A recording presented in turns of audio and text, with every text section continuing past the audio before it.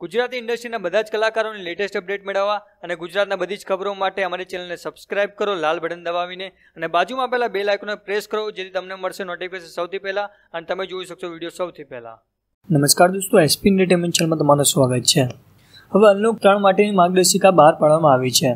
પાંચ ઓગસ્ટથી જીમ અને યોગ્ય સેન્ટર ખોલવા માટે સક્ષમ હશે, પરંતુ તે માટે સામાજિક અંતર અને અન્ય આરોગ્ય પ્રોટોકોલનું પાલન કરવું જરૂરી રહેશે. કેન્દ્રીય ગૃહ મંત્રાલયે અનલોક ત્રણ માટેની માર્ગદર્શિકા બહાર પાડી છે. પાંચ ઓગસ્ટથી જીમ પણ ખોલવામાં આવશે, જો કે એકત્રીસ ઓગસ્ટ સુધી શાળાઓ અને કોલેજો બંધ રહેશે. મેટ્રો સિનેમા સ્વિમિંગ પુલ પણ હવે ખુલશે નહીં. કન્ટેનમેન્ટ ઝોનમાં લોકડાઉનમાં પ્રતિબંધ ચાલુ છે અને કન્ટેનમેન્ટ ઝોનમાં એકત્રીસ ઓગસ્ટ બે હજાર વીસ સુધી હળવા હળવા કરવામાં આવશે નહીં. સામાજિક, ધાર્મિક, રાજકીય, સાંસ્કૃતિક અને અથવા મનોરંજન સંબંધિત કાર્યક્રમો પર પ્રતિબંધ રહેશે, જેમાં ભીડ એકઠા થાય છે. સ્વતંત્ર દિવસની ઉજવણીને સામાજિક અંતર અને અન્ય આરોગ્ય પ્રોટોકોલની સામે મંજૂરી આપવામાં આવી છે. કન્ટેનમેન્ટ ઝોનમાં લોકડાઉન એકત્રીસ ઓગસ્ટ સુધી ચાલુ રહેશે.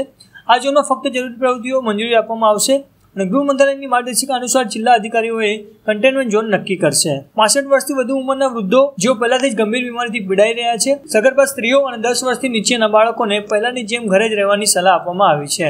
આ કેટેગરીના લોકોને સલાહ આપવામાં આવી છે કે જ્યારે કોઈ જરૂરિયાત હોય અથવા આરોગ્યને લગતી સમસ્યા હોય ત્યારે જ ઘરની બહાર નીકળવું. તો આ રીતે અનલોક ત્રણની માર્ગદર્શિકા બહાર પાડવામાં આવી છે. તો બસ આ માટે આટલું. ફરી મળશું સર વીડિયો ગમે તો લાઈક કરો કમેન્ટ કરો શેર કરો. અમારી ચેનલ સબસ્ક્રાઈબ કરો ફેસબુક પર લાઈક કરો.